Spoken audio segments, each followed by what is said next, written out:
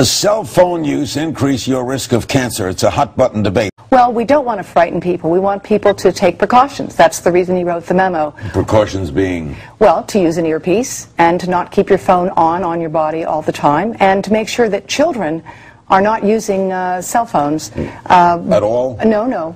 Young children particularly need to be careful, and particularly toddlers who now have cell phones that they use to play with.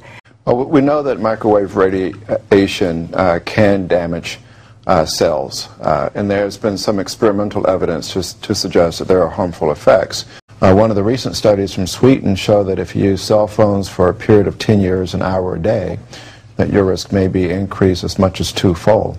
If you have an eight-year-old using a cell phone, we don't expect them to develop lung cancer at 18, but at 48. So what happens after 20, 30, 40 years of use?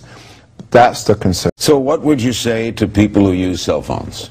I think the most important thing is that when we look at any type of radiation exposure, whether or not it's radio waves or, um, or gamma uh, waves, is that you uh, the duration of your exposure. So clearly, um, if you're on the cell phone for a long period of time, I think we all have been uh, in situations where our ear gets warm.